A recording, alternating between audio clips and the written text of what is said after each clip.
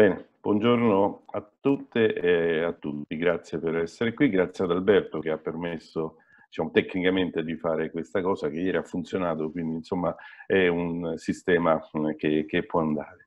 Ehm, metto subito le diapositive e parlerò sopra le, eh, le diapositive.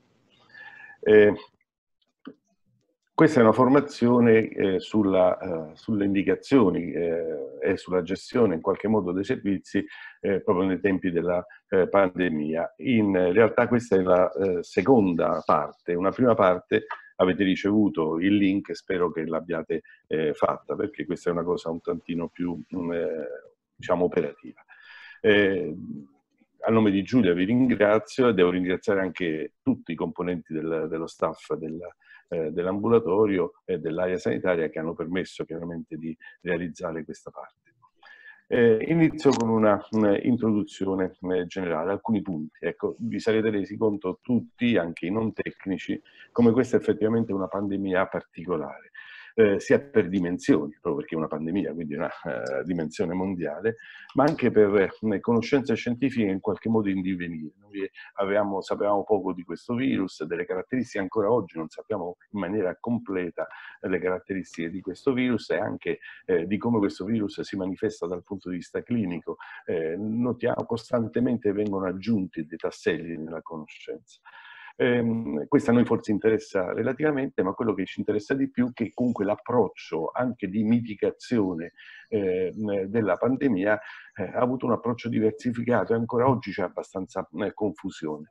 Eh, vediamo tutti i giorni assistiamo a questo grosso dibattito tra centro e periferia, cioè tra Stato e regioni, come ognuno eh, pensa di approcciare in maniera diversa e a volte questo crea confusione. Ecco, noi siamo dentro questa situazione e dobbiamo in qualche modo governare nel nostro piccolo, all'interno delle nostre strutture, questa situazione generale. Una filosofia di fondo, su questo siamo tutti d'accordo, cioè non bisogna dare spazio al virus. Il virus ha bisogno di noi per poter continuare a vivere e a diffondersi. Se noi interrompiamo questo contatto, il contatto chiaramente con il virus, il virus progressivamente va eh, a diminuire la sua azione, la sua diffusione. Questo è il ragionamento no, dell'interruzione delle catene di contagio, dell'isolare i focolai, che possono essere focolai individuali e collettivi. Quindi in questa, diciamo, pandemia particolare, con questa filosofia di fondo, eh, si aggiunge un altro elemento che dobbiamo tener conto, che, sono, che è l'eterogeneità dei nostri servizi, dei servizi Caritas e CRS. Eh, abbiamo dei servizi eh, che sono dei, degli uffici, abbiamo dei servizi eh, di accoglienza, insomma non vi sto a dire, conosciamo tutti, abbiamo dei servizi particolarmente vulnerabili, a rischio, no? pensiamo allo eh, stesso ambulatorio che è aperto sulla strada eh, e che quindi vede persone malate, insomma sono situazioni molto diversificate con una pluralità di attori coinvolti. Siamo noi gli operatori, ma ci sono i volontari e in alcuni servizi sono determinanti i volontari, ci sono i manutentori e sappiamo bene di quanta manutenzione i nostri servizi hanno bisogno, ci sono i fornitori, le persone ascoltate, le persone assistite, le persone accolte. E quindi tutto questo crea veramente una situazione di complessità del sistema molto molto alta. Eh, il sistema ha retto, con molta fatica, ma ha retto fino adesso. E questo devo dire per il grande lavoro integrato che è stato fatto all'interno di, di, tutte le aree e tra le aree e con la direzione. Mai come in questo periodo, perlomeno noi capi area, ci siamo sentiti, confrontati, ascoltati, in, in alcuni casi anche confortati. No? Penso ai primi momenti quando effettivamente la situazione era, se vogliamo, drammatica, dove non sapevamo dove, dove potevamo andare e cosa potevamo fare. Ecco, questo grosso lavoro tutti insieme ci ha aiutato molto, è un, un confronto continuo, con degli aggiustamenti continui, con una condivisione continua. E di questo ringrazio tutti voi, oltre che chiaramente eh, la parte più apicale, che possono essere i capiari o la direzione. Scusate. Eh, in questo periodo c'è stata anche una grandissima, eh, direi quasi un eccesso di informazioni. Eh, queste informazioni spesso non sono state verificate non, o non sono verificate quando le leggiamo, le sentiamo. Alcune queste, di queste informazioni sono discordanti. Allora noi abbiamo scelto di utilizzare poche fonti, ma fonti sicure. Eh, anche se su alcuni aspetti magari eh, non troviamo esattamente quello che a noi interessa. Devo dire l'attenzione per le situazioni in condizioni di marginalità, diciamo per le situazioni non standard, purtroppo non è ancora massima da parte delle, delle istituzioni, ma comunque noi abbiamo usato come fonti le indicazioni nazionali, che vengono quelle dello Stato, i famosi DPCM, eh, alcuni di questi sono stati poi convertiti chiaramente in legge, eh, e mh, diciamo tutte le indicazioni che vengono dal Ministero della Salute. Chiaramente abbiamo tenuto conto anche delle informazioni e delle indicazioni locali, in particolare quelle dal punto di vista regionale, quindi le ordinanze e le note, le ordinanze in un periodo di emergenza come è questo sono cogenti, cioè nel senso sono, non sono dei consigli, no? ma sono delle indicazioni molto puntuali. E come riferimento tecnico-scientifico abbiamo mh, mm, fatto riferimento ai documenti dell'Istituto Superiore di Sanità e a livello più locale abbiamo come sfondo, direi non tanto come riferimento ancora, ma come sfondo i nostri DVR, che sono eh, i documenti di valutazione di rischio che ogni servizio deve avere, che sono stati aggiornati in questo momento in maniera abbastanza frettolosa, ma che dovranno sempre di più diventare degli strumenti utili per poter gestire non solo questa eh, emergenza, ma in genere eh, le attività all'interno dei nostri servizi dal punto di vista di tutela eh, e di protezione. Eh, questi sono i siti eh, a cui abbiamo fatto riferimento. Eh, queste diapositive verranno messe a disposizione, quindi eh, potete poi trovarli direttamente, adesso probabilmente sul sito della Caritas, ci, sarà, ci dirà, mh, mm, eh, vedremo dopo dove metterlo. Comunque potete trovare mh, mm, diciamo, tutto ciò che noi diciamo, tutti i documenti importanti in questi, eh, in questi siti quindi della protezione civile, dove in genere nella sezione normativa trovate tutta la normativa a livello nazionale, a livello locale, cioè delle singole regioni, tutte le indicazioni della protezione civile e così via. Sito del Ministero della Salute, dove non c'è solamente la parte normativa, ma ci stanno anche indicazioni, raccomandazioni, infografiche, Regione Lazio in particolare per eh, le ordinanze, lo Spallanzani perché dal punto di vista scientifico ogni giorno fa un report che raggruppa e sintetizza tutte le informazioni scientifiche che abbiamo, eh, sia dal punto di vista epidemiologico, cioè la diffusione a livello nazionale e internazionale, ma anche tutte le, eh, evoluzioni, ad esempio eh, sul vaccino, piuttosto che sulle terapie, insomma è un punto di riferimento. Infine, L'ultimo mm, eh, ambito eh, che abbiamo considerato e che vi mettiamo a disposizione sono le infografiche eh, dell'Istituto eh, Superiore Sanità. Eh, tutte le raccomandazioni pratiche che adesso Giulia vi eh, diciamo, indicherà sono state prese sostanzialmente dal, dalle varie indicazioni che vengono dall'Istituto Superiore di Sanità e, e, quindi e trovate anche delle rappresentazioni grafiche abbastanza friendly, cioè facile da, da capire, da leggere e anche da diffondere. Da dove siamo partiti? La, il primo step di questa formazione è quel documento appunto che vi abbiamo invita, inviato con un audio eh, che mh, abbiamo redatto insieme con l'Università della Sapienza. Diciamo, tutto questo processo formativo è stato mh, coordinato con l'Istituto di Igiene e Sanità Pubblica dell'Università della Sapienza. Ehm, la prima parte dà, eh, come dire, i prerequisiti, eh, dà le informazioni generali, eh, dà le definizioni in modo da avere, da avere un linguaggio comune. Se non l'avete fatto, eh, io vi consiglio, se avete tempo, dura mezz'ora, andatevelo a sentire, perché dà tutta una serie di informazioni. Devo dire alcune cose si sono aggiornate, però sostanzialmente mh, le informazioni che dà sono le informazioni di base su cui dobbiamo eh, partire per fare il ragionamento che faremo oggi. E il ragionamento di oggi è un ragionamento molto operativo. Eh, e se per questo volete forse già eh, che voi conosciate, conoscete, perché in questi mesi siamo stati bombardati delle informazioni sul lavaggio, sulle mascherine, eh, sulla temperatura e così via, però adesso cercheremo di rifare il punto eh, passo per passo, in modo tale di avere tutte delle informazioni eh, di base. E per fare questo do la parola a Giulia che vi accompagnerà in questa parte. Ciao a tutti, eh, come accennava Salvatore, probabilmente le misure che ora vedremo eh, sono misure che avete già sentito, eh, di cui avrete letto, eh, passate anche attraverso i mezzi di informazione, ma è importante un attimo riprenderle insieme e sottolinearne alcuni aspetti.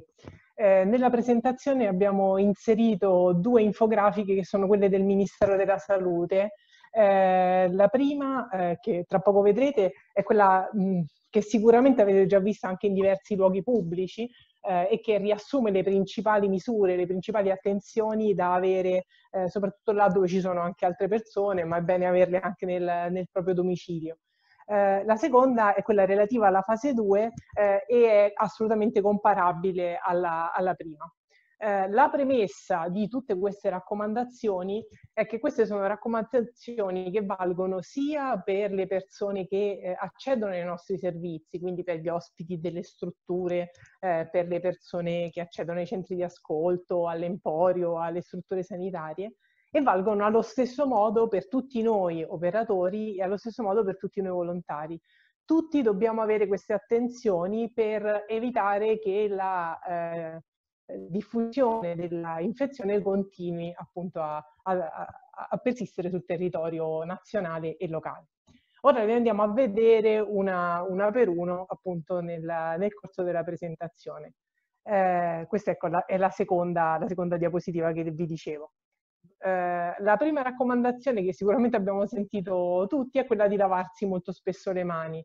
Il lavaggio delle mani può essere fatto o con acqua e sapone o con soluzione alcolica eh, e c'è una particolare modalità di effettuarlo e subito dopo lo vedremo nella diapositiva successiva.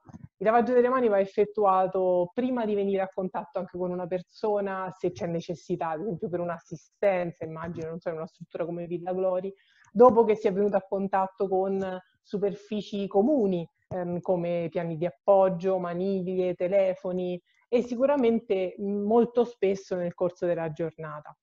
Uh, l'utilizzo dei guanti, anche su questo lo vedremo dopo, non sostituisce il lavaggio delle mani, che rimane una delle misure fondamentali per evitare la diffusione dell'infezione.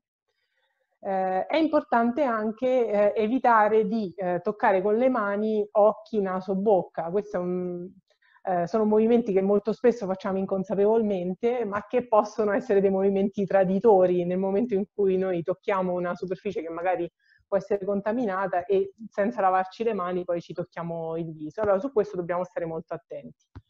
Eh, si devono evitare, ormai questo ci siamo abituati e dovremo farlo ancora per un po', eh, gli abbracci e le strette di mano, quindi salutarsi da lontano. Eh, e poi in caso di eh, starnuti o di colpi di tosse eh, meglio utilizzare fazzoletti monouso, poi da gettare subito nei rifiuti indifferenziati e subito dopo lavarsi le mani, ovviamente in maniera adeguata. Nel caso in cui non si dispone di fazzoletti monouso, è bene usare la piega del gomito. Eh, nel caso in cui ci siano nell'ambiente in cui siamo presenti delle persone che, con infezione respiratoria acuta, con sintomi di raffreddore, tosse, è bene evitare sicuramente il contatto ravvicinato e chiedere alla persona di indossare la mascherina, ma poi anche qui faremo un passaggio sulle mascherine, ed è bene evitare l'uso promiscuo di eh, bottiglie e di bicchieri. Eh, sono semplici raccomandazioni, mh, mm, per molti di noi possono essere anche scontate, probabilmente eh, per alcuni dei nostri ospiti sono già un traguardo e quindi eh, ripeterli, anche educare tutte le persone, volontari, operatori e persone che accedono ai nostri servizi a queste misure diventa anche un'occasione per lavorare sulla cura del sé. Eh, per quanto riguarda il lavaggio delle mani, eh, abbiamo inserito nella presentazione i due poster che probabilmente avrete anche già visto su come si effettua il lavaggio delle mani eh, siamo, per, per, essere sicuri di avere poi delle mani effettivamente pulite. Eh, con acqua e sapone il lavaggio deve durare tra i 40 e i 60 secondi eh, si deve stare attenti a toccare tutte le parti delle, della mano, quindi il palmo, il dorso, tra le dita, la punta delle dita il pollice. Eh, si deve asciugare poi la mano con una salvietta e con la stessa salvietta chiudere l'acqua del rubinetto e eventualmente aprire la maniglia della porta e poi eliminare la salvietta. In quel modo le mani sono pulite. Eh, se si utilizza la soluzione alcolica, il gel disinfettante, che dovrebbe essere messa a disposizione in tutti i luoghi pubblici, in tutti i luoghi aperti al pubblico, eh, il lavaggio può durare 20-30 secondi, i movimenti da fare sono gli stessi e una volta asciugate le mani, le mani sono eh, sanificate, sono pulite e, e si può appunto lavorare in sicurezza. Accennavo prima che il lavaggio delle mani non deve, sostituire, non deve essere sostituito scusate, dall'utilizzo dei guanti. cioè non dobbiamo pensare che una volta messi, messi dei guanti siamo in sicurezza e quindi, ad esempio, tenendo lo stesso paio di guanti per tutta una mattinata o per una giornata, eh, ci sentiamo difesi da eventuali contaminazioni. Ovviamente i guanti eh, devono essere diciamo, messi anche eh, dopo che i guanti sono stati tolti, si deve sempre effettuare il lavaggio delle mani. Ogni volta che i guanti si sporcano e sono appunto mh, evidentemente eh, rovinati, devono essere sostituiti e comunque molto spesso vanno sostituiti, ad esempio in contesti sanitari vanno sostituiti eh, sicuramente passando da un paziente ad un altro. Eh, devono essere eliminati nei rifiuti indifferenziati e eh, anche qui quando indossiamo i guanti non dobbiamo pensare di eh, poter toccare il nostro viso in maniera sicura perché i guanti poi diventano anche contaminati. Eh, le indicazioni del Ministero suggeriscono l'utilizzo dei guanti sia ad esempio nei supermercati o nei luoghi dove si viene a contatto con alimenti eh, e anche nel trasporto pubblico. Ci sono comunque dei contesti dove è assolutamente necessario l'utilizzo dei guanti indicato eh, ed è sia quando viene effettuata la pulizia, quindi il personale addetto alle pulizie della, degli ambienti, delle superfici, eh, sia le persone che sono a contatto con alimenti, quindi pensiamo alle nostre mense o alle cucine dei centri di accoglienza, laddove si mangia appunto chi è a contatto con gli alimenti, eh, ovviamente anche in caso di assistenza sanitaria, ospedaliera, ambulatoriale, lì è indicato utilizzare i guanti, ripeto, facendo sempre molta attenzione a comunque fare il lavaggio delle mani prima e dopo il loro utilizzo e a sostituirli ogni volta che appunto si ritiene necessario. Eh, ancora continuando con le semplici raccomandazioni che ormai sono entrate già nel nostro modo di, eh, di comportarci, ma è bene sempre ripeterle, eh, sicuramente è indicato mantenere la distanza di almeno un metro, meglio anche due eh, quando si è a contatto con altre persone, evitare gli assembramenti e areare bene i locali ogni volta che è possibile.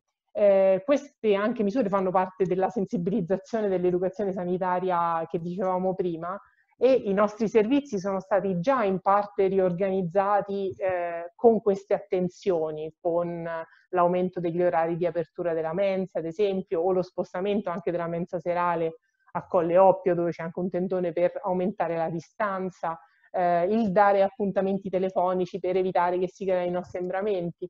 E anche qui ci sarà anche da lavorare in fase 2 per capire quali altre misure sarà necessario inserire nei nostri servizi per mantenere queste attenzioni per un po' di tempo, almeno, almeno fino a che non potremo sviluppare noi le difese grazie a un vaccino per evitare appunto l'infezione da, da virus. Um, per quanto riguarda gli ambienti chiusi, dicevo, l'importante è areare bene i locali. Eh, si consiglia di aprire le finestre spesso, Sicuramente ehm, dopo che viene effettuata la pulizia, anche durante la pulizia degli ambienti, è bene areare bene i locali.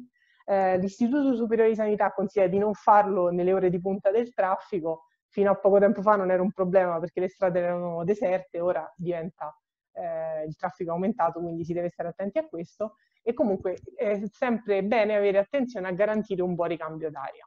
Ci sono delle indicazioni specifiche anche per la pulizia degli impianti di condizionamento. Su questo non abbiamo inserito la diapositiva perché sta, viene effettuata in questo momento una valutazione tecnica eh, da parte di eh, chi di competenza dell'ufficio tecnico insieme ai capo area, eventualmente coordinatori dei servizi, però anche su quella parte degli impianti di condizionamento si deve avere attenzione a effettuare diciamo, pulizia e sanificazione in maniera adeguata.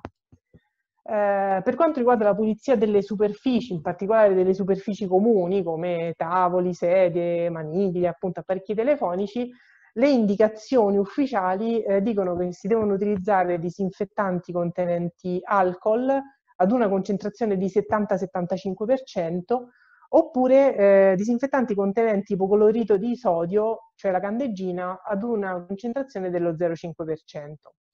Eh, l'alcol e la candeggina sono venduti a una concentrazione più alta rispetto a quella che serve per la disinfezione, quindi per avere questa concentrazione devono essere diluiti.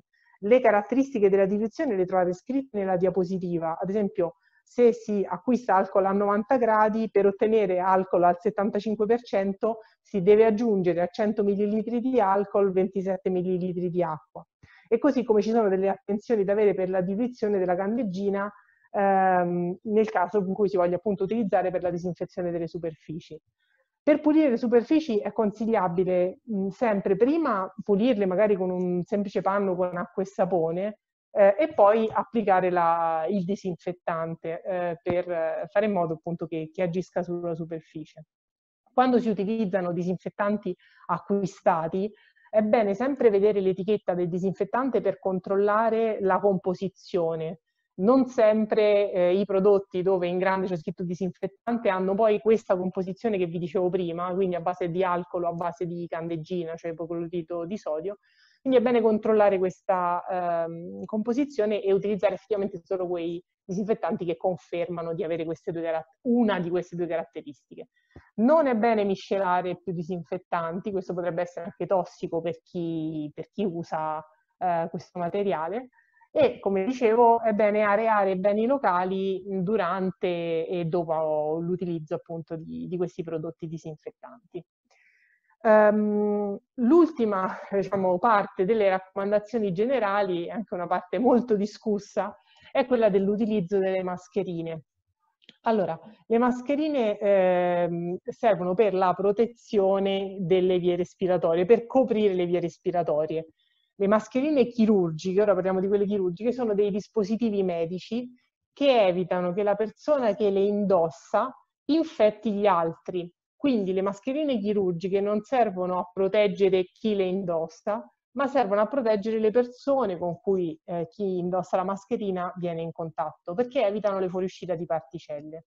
Le mascherine chirurgiche eh, sono certificate eh, in base ad una normativa europea e i produttori eh, che le producono appunto devono dimostrare di seguire tutta una serie di regole. Quando è iniziata l'emergenza sanitaria, il Ministero della Salute ha ehm, permesso anche a produttori che normalmente non producono mascherine certificate di produrre mascherine e di venderle sul territorio nazionale. Queste non hanno il marchio CE, quindi non hanno il marchio della normativa europea, eh, ma possono essere utilizzati in contesti cosiddetti di comunità, così li definisce anche il decreto del 26 aprile sono mascherine di comunità. Per essere prodotte, eh, il produttore deve dichiarare semplicemente che le mascherine non sono nocive a chi le indossa, ad esempio non creano irritazione sulla pelle di chi le indossa. Non sono però certificate. Le mascherine di comunità possono essere anche autoprodotte, diverse persone possono prodursi, magari si sono cucite da sole la mascherina a casa, anche in questo caso si possono utilizzare. Eh, l'importante è che siano multistrato. Eh, ci sono dei contesti in cui è necessario utilizzare le mascherine chirurgiche, cioè quelle certificate. Eh, in particolare l'assistenza sanitaria, lì è impossibile non utilizzare quelle certificate. Eh, è consigliato, fortemente raccomandato utilizzare quelle chirurgiche anche in contesti di trattamento di alimenti, quindi ad esempio pensa alla mensa, è bene utilizzare le mascherine chirurgiche. E poi le mascherine chirurgiche vanno utilizzate anche eh, da chi presenta dei sintomi, eh, di eh, sintomi influenzali o di raffreddamento, in quel caso è bene che la persona abbia una mascherina chirurgica.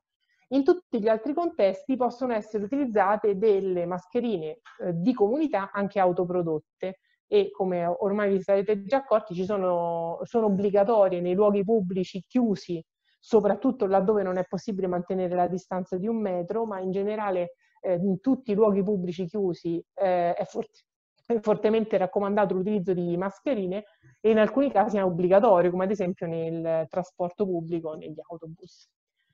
Una finestra eh, rapida su come si mettono le mascherine, ehm, è bene sempre prenderle dagli elastici e eh, la lavare le mani prima di, di metterle, poi prenderle dagli elastici, farle aderire bene al mento bocca e al naso, facendo aderire bene il ferretto al naso, eh, e per toglierle, sempre toglierle dagli elastici. Si possono utilizzare fino a quando eh, non si inumidiscono, cioè sicuramente se si inumidiscono vanno cambiate, e poi ehm, diciamo, possono essere utilizzate continuativamente per 8-10 ore. se durante una giornata non utilizzo continuativamente una mascherina chirurgica, posso anche pensare di utilizzarla due giorni e poi sostituirla, quindi direi massimo due giorni e poi eh, la sostituiamo, chiaramente parlando di quelle monouso. Per quelle riutilizzabili eh, è consigliato eh, lavarle in lavatrice a 60 gradi, se possibile. Non ci sono altri metodi ufficiali per eh, disinfettarle o per sanificarle. Il metodo che suggerisce l'Istituto Superiore di Sanità è quello del lavaggio a 60 gradi fino a che non perdono diciamo, la loro capacità qualche modo di evitare che le particelle fuoriescano. Eh, un'ultima finestra sulle mascherine FFP, ormai famose, in particolare le FFP2 e le FFP3, le FFP1 non ne parliamo perché quelle eh, servono in contesti di lavori di edilizia per la protezione contro le polveri, quindi non sono diciamo, protettive in contesti di, di infezione. Le FFP2 e le FFP3 vengono utilizzate in contesti sanitari. Le indicazioni ufficiali dicono laddove si viene a contatto con pazienti Covid positivi, eh, perché proteggono anche chi le indossa da un eventuale contagio ma le indicazioni, ripeto, ufficiali mh, suggeriscono il loro utilizzo, anzi eh, raccomandano il loro utilizzo quando c'è un contatto ravvicinato in manovre sanitarie come l'ispezione della bocca o l'effettuazione del tampone o l'effettuazione di un lavaggio bronco, broncalveolare. In altri contesti non sono suggerite. Eh, ci possono essere mascherine FFP con valvola o senza valvola. Anche qui una nota solo per dire che è bene utilizzare eh, eventualmente quelle senza valvola perché queste eh, non solo proteggono chi le indossa, ma impediscono anche che le particelle fuoriescano, quindi impediscono che chi indossa la mascherina infetti gli altri, cosa che invece la valvola non fa. La presenza della valvola aiuta a respirare eh, chi, la persona che indossa la mascherina, ma non evita che le particelle fuoriescano. Quindi chi ha mascherine con valvola e per evitare di infettare gli altri è bene sempre apporre sopra la mascherina con valvola una mascherina chirurgica, in questo modo si crea, si crea la barriera. Eh, appunto, questa piccola finestra sulle mascherine FFP, ora passo di nuovo la parola a Salvatore per la seconda parte della presentazione. Bene, grazie Giulia. Adesso man mano entriamo proprio nei nostri, eh, cerchiamo di entrare nei nostri servizi e capiamo quello che è possibile fare Mm, è quello che dobbiamo fare nei nostri servizi, tenendo conto quelle cose che sono state dette, quelle vanno assolutamente eh, messe in pratica. Ehm, eh, questo è un manifesto fatto da, dalla Croce Rossa su ehm, per i senza dimora, che sono anche qui le, le stesse eh, raccomandazioni che abbiamo eh, visto prima, anche se a me fa un po' sorridere, no? soprattutto per le persone che vivono per strada, che possono poi fare, mh, eh, attuare queste, eh, queste procedure. forse la cosa migliore era quello di cercare di togliere queste persone dalla strada e approfittare per fare dei percorsi comunque di accoglienza. Ehm, però veniamo a noi. Noi abbiamo cercato di capire fin da subito quello che stava succedendo, abbiamo mandato anche eh, delle indicazioni eh, già eh, a metà di, di marzo, eh, proprio perché eravamo mm, molto sollecitati da parte degli operatori di fronte a dei dubbi come comportarci, cosa fare, quali sono i percorsi. Alcune cose le abbiamo scritte, alcune cose le abbiamo progressivamente migliorate, alcune cose sono rimaste un po' eh, sospese. Eh, chiaramente ogni servizio eh, ha le sue eh, procedure, i responsabili di servizio, i capi area eh, in qualche modo hanno contezza di quello che, che succede, quello che c'è da fare e quali sono le, le, problematiche, per cui i riferimenti rimangono sempre queste persone, quindi capo eh, servizio e capo area, tenendo conto che poi c'è uno stretto lavoro eh, di rete tutti insieme. Vediamo due aspetti in particolare, quello che è successo, che, succede, che bisogna fare nelle mense, ma diciamo queste cose che vi sto per dire sono cose che già facciamo, perché chiaramente non abbiamo potuto aspettare la formazione per poterle fare. L'abbiamo prima fatta e adesso in qualche modo eh, ci servono per eh, sistematizzare il tutto. Eh, per le mense, eh, l'ingresso a scaglioni, l'abbiamo già detto prima, il prolungamento degli orari eh, di apertura, eh, la valutazione della disposizione dei tavoli, valutare la, la possibilità di ampliamento degli spazi. Eh, noi abbiamo anticipato circa un mese e mezzo, quasi due, quelle che adesso sono le indicazioni che vengono date eh, da parte degli IPCM o dalle ordinanze. Ecco, quello, la forma del tavolino come consigliavamo di, di sedersi. eh, tutte le persone che entrano devono comunque avere la possibilità, anzi devono igienizzarsi le mani, bisogna pulire le superfici dopo ogni utilizzo, bisogna garantire laddove possibile un buon ricambio d'aria del motivo per cui alla mensa è stato proprio montato un, un padiglione fuori dalla mensa stessa, all'aperto, seppur protetto, tutti gli operatori volontari, soprattutto quelli per la preparazione e la distribuzione del cibo, devono indossare guanti monouso e le mascherine chirurgiche. Ripeto, quelle chirurgiche certificate, assolutamente quelli che ehm, toccano il cibo, cioè che, che eh, danno, distribuiscono il cibo. Gli altri possono avere magari anche altri tipi di, di, mascherine, però sicuramente tutti quelli che sono a contatto col cibo devono avere quelle chirurgiche. Se una persona presenta manifestatamente dei sintomi eh, legati ad eh, situazioni eh, di raffreddamento, influenzali, parainfluenzali, certamente questa è un'allerta, è l'allerta principale che noi abbiamo. Quindi in questi casi bisogna subito, immediatamente, dargli comunque una mascherina chirurgica che serve a proteggere noi e le persone che stanno intorno a questa eh, persona e in qualche modo quindi non, eh, non farlo entrare nella, nella, struttura, mettere magari in una parte più eh, appartata, più separata e, e, fare la valutazione che poi ognuno di noi abbiamo imparato a fare. In questo caso non serve chiaramente il medico, non devi chiamare necessariamente il medico, anche se i sintomi sono abbastanza evidenti, è bene comunque consigliarsi ed eventualmente chiamare direttamente il 118.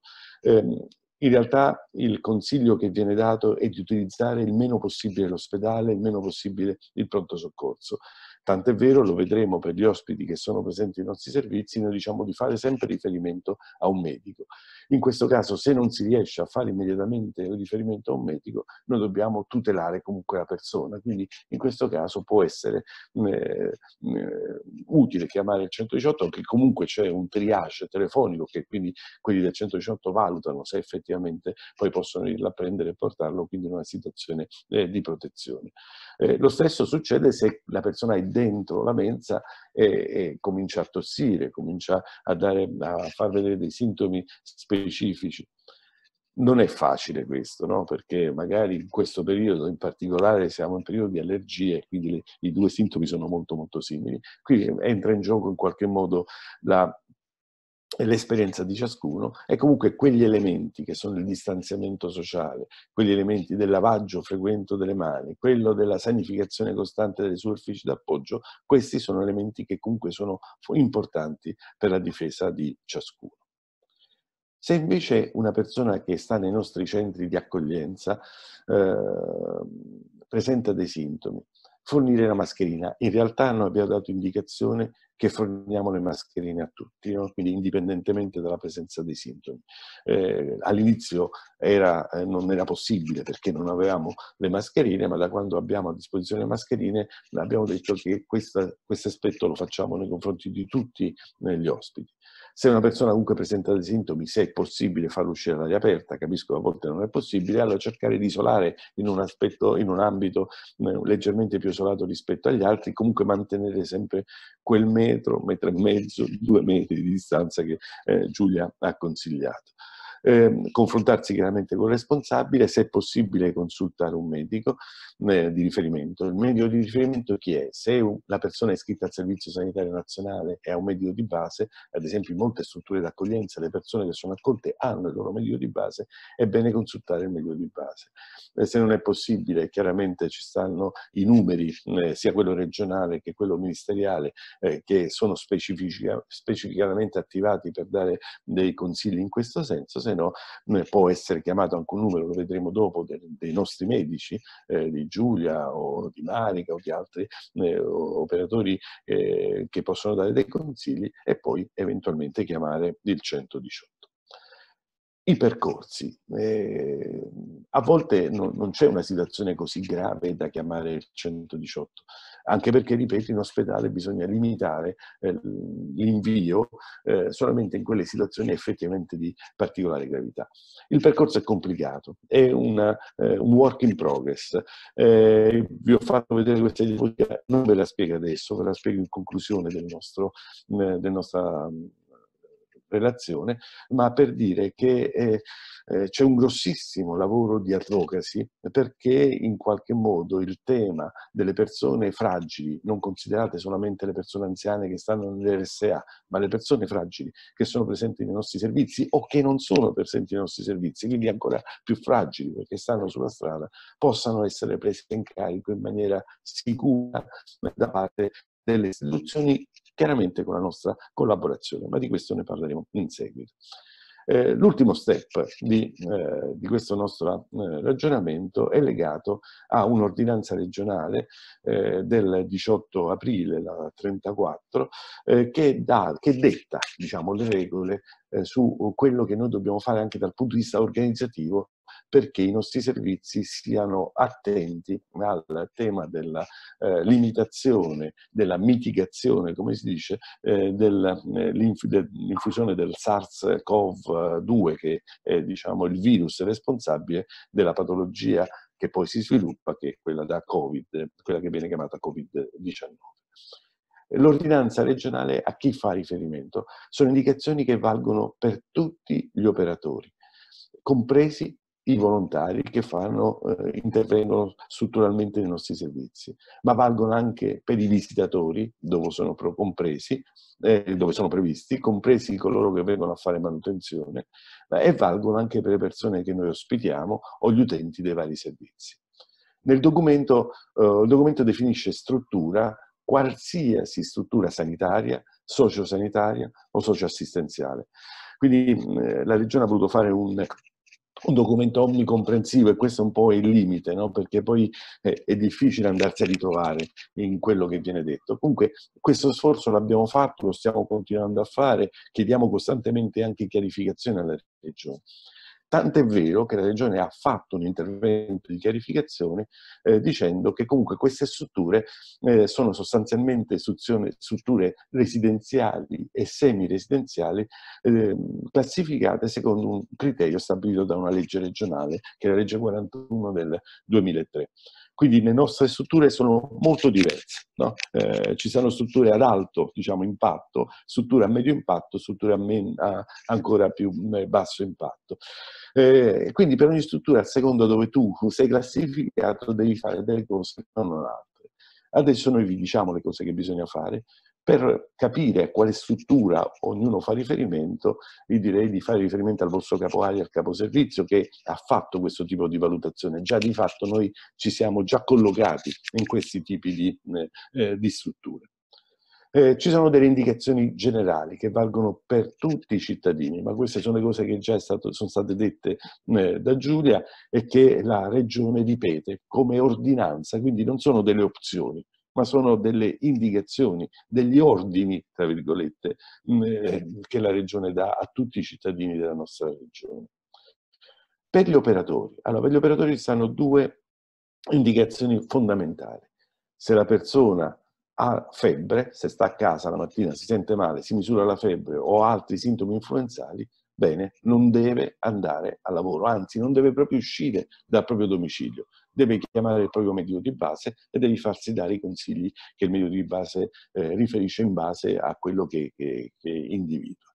Eh, e deve informare tempestivamente e dice la, il DPCM responsabilmente il datore di lavoro, perché il datore di lavoro poi deve fare altre cose, deve, fare, eh, deve allertarsi diciamo, su determinate situazioni, perché magari quella febbre è semplicemente una febbre stagionale, ma può essere però oh, il campanello d'allarme per qualcosa di più eh, complesso e più articolato e quindi bisogna intervenire in maniera più adeguata.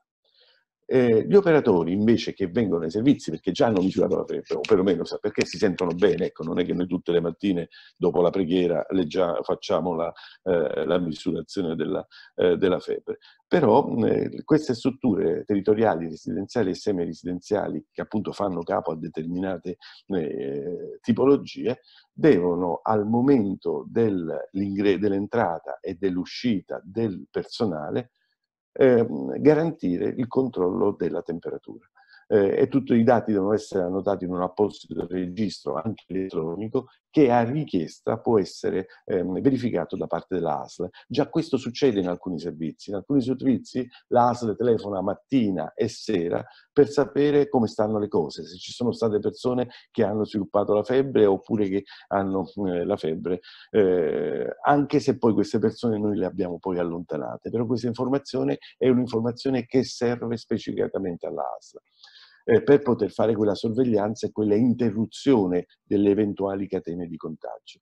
Ehm, l'ordinanza dice qualcosa in più, dice oltre alla misurazione della febbre, se la febbre eh, c'è bisogna fare anche la misurazione della saturazione d'ossigeno, eh, diciamo questo effettivamente è possibile, in alcune strutture, in alcuni servizi si fa, ad esempio chiaramente qui in ambulatorio si fa, noi però l'indicazione che diamo è che se una persona, un operatore ha la febbre al momento in cui non gliela misuriamo all'ingresso del servizio, bene, lo invitiamo a tornare a casa subito e a avvisare il proprio medico di medicina generale per sapere le cose che deve fare. Per i volontari, manutentori e fornitori. Allora, volontari e manutentori si segue la stessa procedura prevista per gli operatori. Laddove è stato individuato che in quel servizio bisogna misurare la febbre all'entrata e all'uscita, questa procedura vale anche per i volontari e vale anche per i manutentori. Per i fornitori no, per i fornitori si è deciso di eh, non farli entrare, cioè praticamente farli rimanere eh, all'ingresso e quindi fare depositare i materiali che hanno portato e quindi portarli noi all'interno. Se proprio devono entrare bisogna misurarli chiaramente la febbre, a quel punto non è l'entrata all'uscita perché chiaramente è quasi contestuale la cosa e se puta caso hanno la febbre assolutamente non devono eh, entrare. Eh, è previsto anche un bagno specifico, la sanificazione del bagno, insomma, ma l'idea è proprio di non farli entrare nei nostri servizi laddove chiaramente è possibile. Per gli ospiti, allora per gli ospiti di quelle strutture dove è prevista questa sorveglianza per tutti gli accessi, questa sorveglianza vale anche per tutti gli ospiti che sono presenti con misurazione della temperatura due volte al dì. Ripeto, non sono tutte le strutture, sono pochissime le strutture Caritas dove questo è richiesto e queste strutture già sanno quello che devono fare. Tutte le altre strutture, in tutte le altre strutture, compreso gli uffici, è consigliato sicuramente la misurazione della temperatura corporea in entrata e la registrazione in appositi eh, appunto, eh, registri. Anche in questo caso eh, gli operatori che hanno più di 37 gradi e mezzo bisogna invitarli di tornare a casa, sentire il medico e poi il medico dirà quando, eh, cosa fare e quando possono tornare chiaramente al lavoro. Per tutti gli altri, volontari, manutentori e fornitori, vedete, per, valgono le stesse regole che abbiamo detto prima. Volontari, manutentori e persone che accedono ai servizi si segue in qualche modo la stessa procedura prevista per gli operatori, eh, per i fornitori li teniamo in qualche modo eh, fuori per le persone che assistiamo. Ecco, qui eh, esistono dei margini interpretativi eh, che la stessa delibera della Regione, che il DPCM non ha chiarito completamente. Eh, in questo caso il capo area, col coordinatore del servizio, ha individuato, in base a criteri di buonsenso e fattibilità, la possibilità di fare la misurazione corporea oppure no ad esempio per i centri d'ascolto è consigliabile fare la misurazione corporea anche per le persone che entrano ad ascoltare, per l'emporio c'è qualche dubbio eh, da capire se è possibile farla eh, oppure no. Eh, sapete, molto dipende anche dal tempo di permanenza della persona nella struttura. Tenete conto che tutti devono avere comunque la mascherina e che le persone che hanno sindromi influenzali si consiglia di non entrare nelle, nelle strutture stesse. E questo, l'ultimo schema che vi avevo promesso, quali sono i percorsi. Percorsi non ci sono ancora purtroppo, o meglio sono, sono appena accennati. Eh, diciamo per ogni situazione particolare bisogna in qualche modo combattere perché il percorso si attivi. Questo è il quadro generale, il razionale eh, secondo noi che già deve essere applicato in fase 1, ancora di più in fase 2 e ancora di più da, la settimana prossima quando il, la, diciamo, si apre alla possibilità della circolazione delle persone.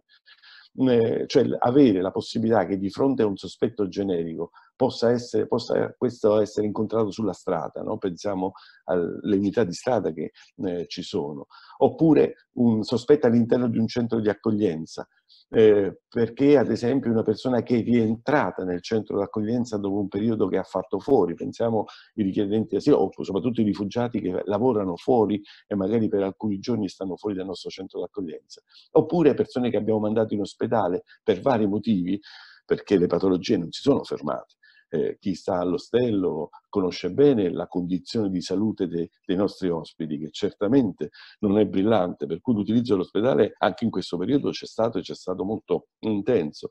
E poi chiaramente li devi riaccogliere. Eh, in alcuni casi, soprattutto magari se sono stati in reparti Covid o mischiati con reparti Covid, è bene pensare a un isolamento. Bene, dove fare questo isolamento?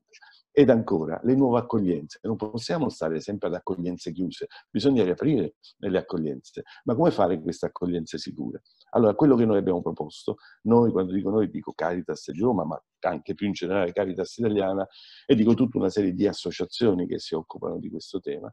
E questo schema l'abbiamo proposto proprio due giorni fa a Borrelli, quindi direttamente siamo andati nel cuore del sistema, cioè siamo andati eh, la alla protezione civile e dire guardate se vogliamo essere efficaci, questo è quello che noi riteniamo sia opportuno fare e cioè quello di passare attraverso un triage, se vogliamo anche telefonico, e poi con diverse possibilità se c'è un, un, sospetto specifico, inviarlo in maniera protetta in una struttura protetta dove c'è visita medica e tampone a cura dell'ASL e a quel punto in base a quello che succede si eh, può decidere di mandarla in una struttura Covid positiva eh, oppure in una struttura Covid negativa per un isolamento, eh, oppure se la situazione è grave chiaramente va direttamente in ospedale, oppure se la situazione non è particolarmente critica, cioè non c'è un sospetto specifico, inviarlo comunque in una struttura che abbiamo definito struttura ponte di isolamento prudenziale che, dove passa i 14 giorni diciamo, eh, a rischio per poi poterlo includere nel sistema d'accoglienza. Sistema d'accoglienza che non può essere solamente il nostro sistema d'accoglienza. Noi ci siamo impegnati che tutte le persone che eventualmente mandiamo a fare questo percorso poi chiaramente le riaccogliamo, ma deve essere un sistema di accoglienza che si apre, un sistema di accoglienza che si potenzia, proprio per permettere di avere meno persone possibile sulla strada e che abbiano un percorso in qualche modo sicuro. E se vogliamo è anche un'occasione per tentare un reinserimento oppure dei processi di, di integrazione per queste persone stesse. Questo è il quadro, do la parola a Giulia per un'ultima mm, eh, considerazione, mi sembra. Sì, e poi ci salutiamo. Ah, o meglio, poi ci sono le domande eh, a cui daremo delle risposte e poi ci salutiamo. A te Giulia. Eh, sì, solo una diapositiva riassuntiva con eh, alcuni, alcune risposte a cosa fare in caso di dubbi. È un poster del Ministero della Salute, quindi qualche domanda l'ha anticipata al Ministero della Salute e altre poi risponderemo a quelle che avete fatto o state facendo nella, nella chat. Eh, quindi eh, riassumendo quali sono i sintomi a cui devo fare attenzione, eh, sicuramente febbre sopra 37,5, tosse che è soprattutto tosse secca e poi in generale sintomi simili influenzali come mal di gola, raffreddore, una forte astenia, in alcuni casi hanno detto anche perdita di gusto e dell'olfatto, però i sintomi guida sono febbre, tosse e sintomi influenzali. Se con questi sintomi posso avere un sospetto di essere entrato in contatto con una persona che era positiva a coronavirus, ehm, cosa devo fare? Devo sicuramente rimanere a casa, se sono a casa come operatore o come volontario, se un ospite, eh, come diceva Salvatore, fornire la mascherina e metterlo in una condizione di isolamento temporaneo o in una stanza dedicata all'aria aperta, e poi contattare subito il medico. Eh, non si deve ovviamente andare dal, nello studio di, di, medicina generale, ma contattare il medico di riferimento laddove è presente. Se non è presente un medico di riferimento, eh, si possono contattare i numeri regionali o il numero nazionale. Sappiamo 1500 attivato dal Ministero della Salute, che all'inizio aveva un po' di difficoltà a rispondere, per la regione Lazio il numero regionale è 800 118 800, eh, oppure in caso di emergenza sanitaria chiamare il 112 che poi eh, mette in collegamento con il servizio di emergenza, l'ARES 118. Ehm, se mi trovo a casa, al mio domicilio e ho questi sintomi, come faccio a proteggere i miei conviventi? Le indicazioni ufficiali sono di mettersi in una stanza eh, appunto isolata, ben ventilata, con una mascherina se possibile, stare attenti all'utilizzo delle superfici comuni e attendere le indicazioni del medico di base. Sarà il medico di base eventualmente a dare delle indicazioni su dove è possibile fare il test. Attualmente nella Regione Lazio è partita anche un'indagine di eh, valutazione sierologica, di epidemiologico della presenza del, dell'infezione. Eh, questi test vengono fatti sempre su chiamata da parte del SISP della, della ASL territoriale e sono dei test sierologici, cioè su sangue, che valutano la presenza di anticorpi.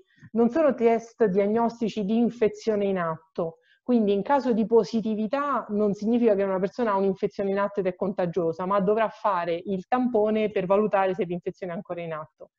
In caso di negatività non significa che la persona non ha infezione, perché potrebbe essere o nella fase iniziale dell'infezione, quindi non ha ancora sviluppato gli anticorpi, o ha talmente pochi anticorpi perché è sempre nella fase iniziale dell'infezione e quindi non vengono rilevati, oppure la positività è per anticorpi ad altri coronavirus perché c'è una grossa reattività. Quindi delle note ufficiali uscite recentemente sia del Ministero della Salute sia della Regione dicono che il test eh, che ci dà la certezza della presenza dell'infezione è il tampone. Il test sierologico è un test che viene utilizzato a livello di prevalenza, di, per studiare diciamo, la prevalenza epidemiologica. Eh, per le informazioni attendibili, i siti che diceva all'inizio Salvatore appunto sono quelli di riferimento. Come diceva eh, anche Salvatore prima, abbiamo attivato un numero per eventuali dubbi, domande, eh, che è quello che vedete scritto in diapositiva, cioè 347 06 25 452, attivo dal lunedì al venerdì dalle 10 alle 19, appunto eventualmente per eh, consigli, dubbi o domande. Altra, Altra possibilità è sempre fare riferimento al capo area e poi il capo area appunto si interfaccia con Salvatore, con, con noi dell'area sanitaria e cerchiamo le, le risposte. Eh, passo di nuovo la parola a Salvatore. Sì, in realtà la parola per ringraziarvi tutti per questa eh, presenza e attenzione tra ieri e oggi, insomma, quasi una novantina di, di, di operatori hanno partecipato. Eh, e comunque adesso mh, cominciamo mh, a rispondere alle domande eh, che, che, ci sono.